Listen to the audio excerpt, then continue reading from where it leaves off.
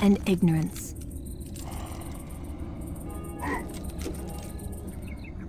Even in darkness, the light of truth shines.